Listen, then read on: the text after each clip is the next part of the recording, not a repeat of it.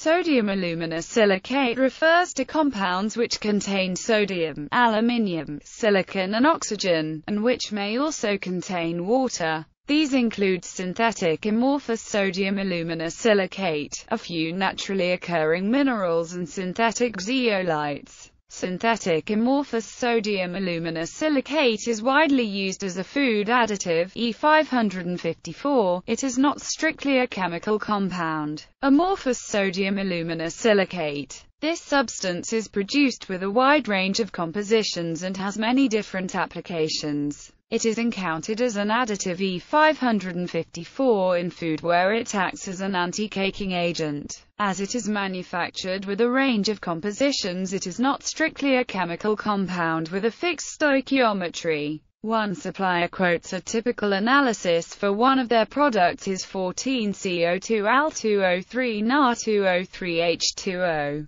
The FDA has as of April 1, 2012 approved sodium aluminosilicate for direct contact with consumable items under 21 CFR 182.2727. Sodium aluminosilicate is used as molecular sieve in medicinal containers to keep contents dry and as food additive having E number E554. Sodium aluminosilicate may also be listed as aluminium sodium salt, sodium silicoaluminate, aluminosilicic acid, sodium salt, sodium aluminium silicate, aluminum sodium silicate, sodium silicoaluminate, sasol. Minerals, sometimes called sodium aluminosilicate, naturally occurring minerals that are sometimes given the chemical name. Sodium aluminosilicate include albite and jadeite. Synthetic zeolites sometimes called sodium aluminosilicate.